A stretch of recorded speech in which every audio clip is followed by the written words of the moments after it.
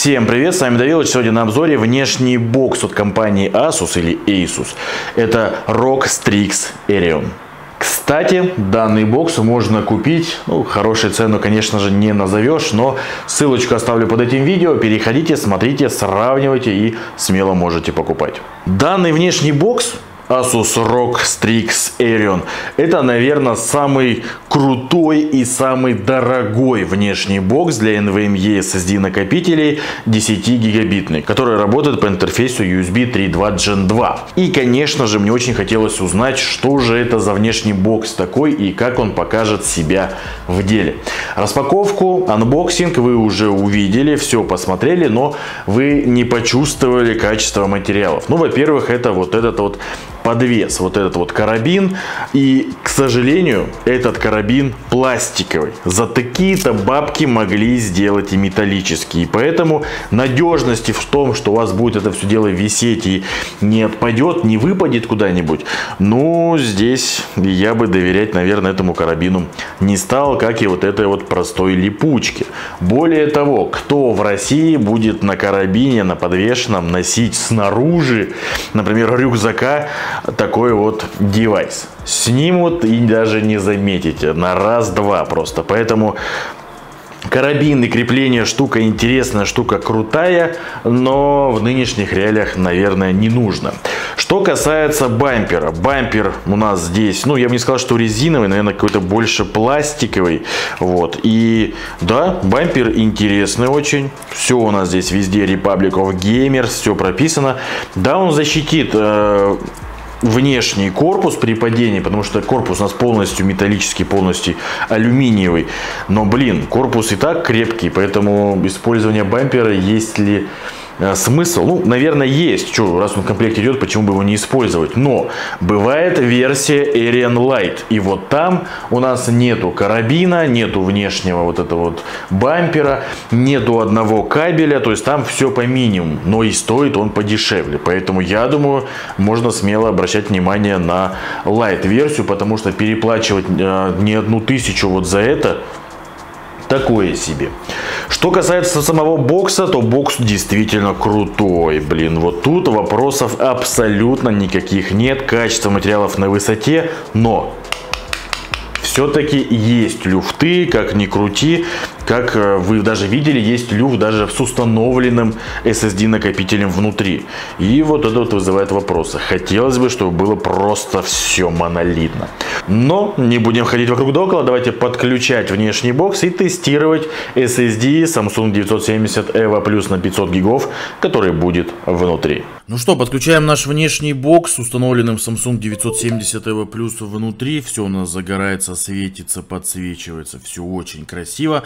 Все определилось круто. Запускаем Crystal Disk Info. Смотрим, что у нас по температуре. 34 градуса у нас пока, пока все в полном порядке, но посмотрим, что у нас будет на тестах. Для контроля за температурой запустим CPU ID Hardware Monitor. Давайте свернем все ненужные нам устройства. И, к сожалению, здесь у нас не определяется наш SSD. Ну да ладно, будем, значит, отслеживать по Crystal Disk Info. И давайте перейдем к первому тесту. Это, конечно же, Crystal Disk Mark. Пропускная способность нашего внешнего бокса 10 гигабит в секунду, а это значит 1000 мегабайт в секунду мы должны с вами увидеть на тестах. SSD у нас имеет скорости выше гораздо, поэтому мы видим 1036 мегабайт в секунду на чтение, 977 на запись. Все полностью подтверждается. Все здесь у нас в полном порядке. Также стоит отметить высокое значение случайного 4К 29 мегабайт в секунду. Да, SSD на самом деле может показать 60, но в боксе 29 это очень хорошо. Что касается температуры, 53 градуса у нас на нашем SSD. Обновим. Да, температура пошла вниз. Ну, а мы с вами давайте запускать следующие тесты. Но во внешнем боксе SSD набирает 838 баллов в утилите AS SSD Benchmark. Итак, у нас разогрелся до 60 градусов наш SSD, да, корпус у нас горяченький, теплоотвод у нас на корпус работает. Что касается скоростей, все в полном порядке, мы все это уже с вами видели. Переходим к следующему, это Adja Video System с размером файла 16 гигабайт. И получаем 959 мегабайт в секунду на чтение, 912 на запись, все тоже в полном порядке. Но в нашем боксе на тесте дисковой памяти в 3D Mark накопитель набирает 741 балл. Сейчас сворачиваем все наши синтетические тесты. Так, давайте покажу операции ввода-вывода, которые мы с вами получили. Ну и выполняем команду trim через оптимизацию на нашем накопителе E. И через 15 минут переходим к тесту на реальную скорость записи. Кстати, сразу же и посмотрим, как сильно разогреется SSD. Ну и как обычно, традиционно будем копировать папочку рендер объем 100 гигабайт с PCI 4.0 SSD накопителя Samsung PM9A1 и давайте смотреть за реальной скоростью. 670 мегабайт в секунду у нас неплохая скорость, тут вопросов у меня нет.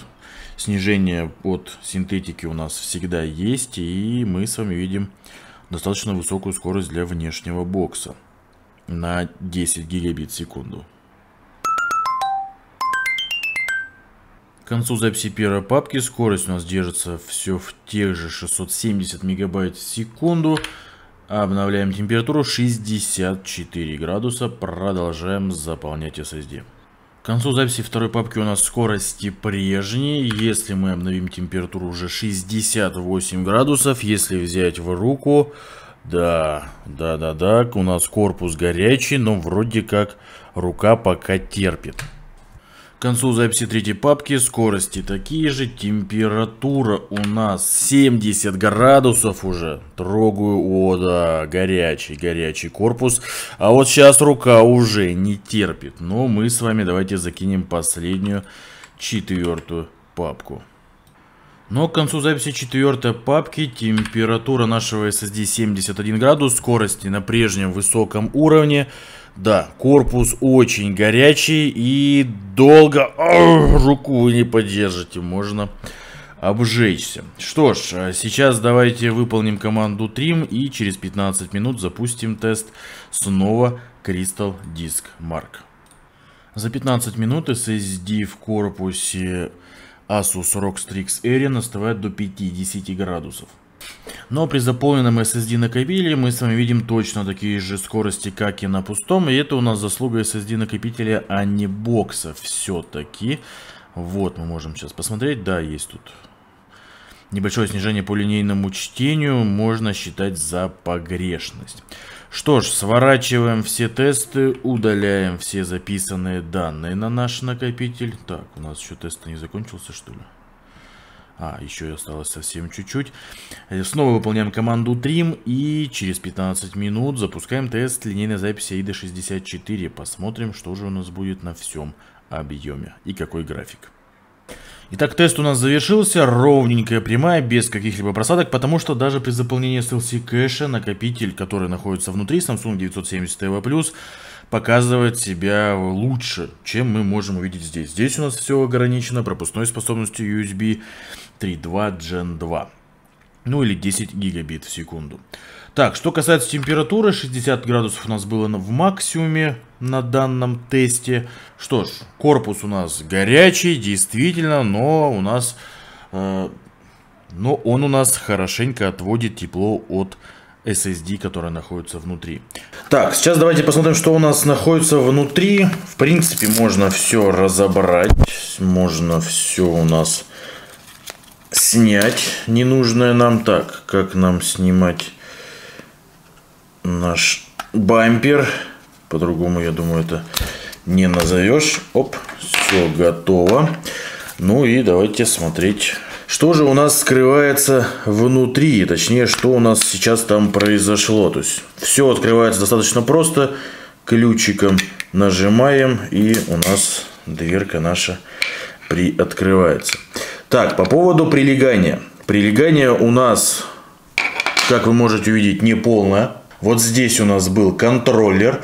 Ну и на чипы памяти, на контроллер у нас в принципе отвод работал. Пусть и не полностью, был бы здесь э, побольше кусочек, было бы поинтереснее. Очень странно, почему такой маленький. Неужели брак или еще что-то?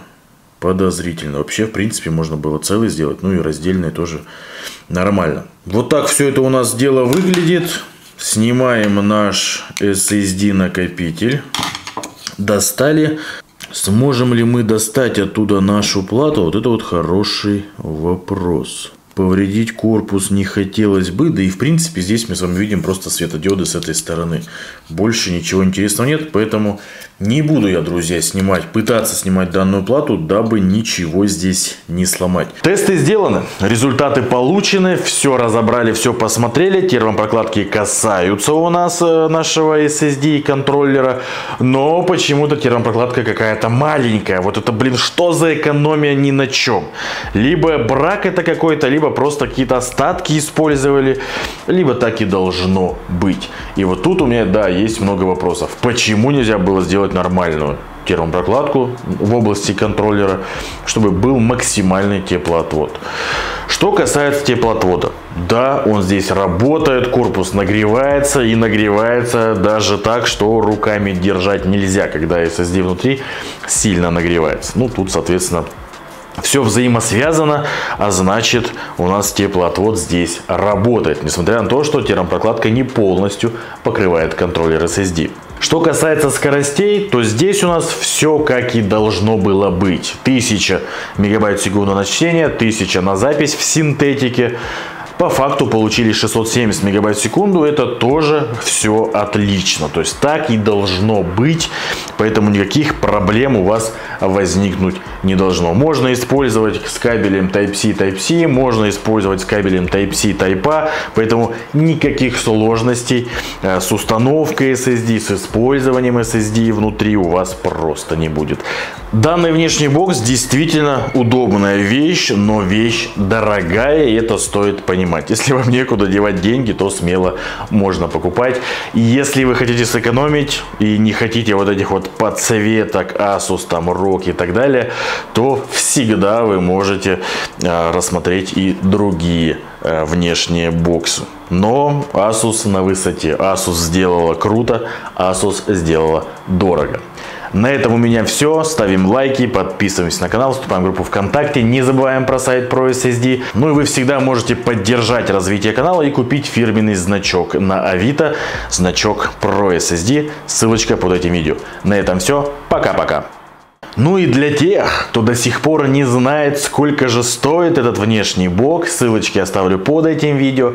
Переходите, смотрите, сравнивайте и смело можете покупать, если вы считаете, что этот внешний бокс действительно достоин той цены, которую за него просят.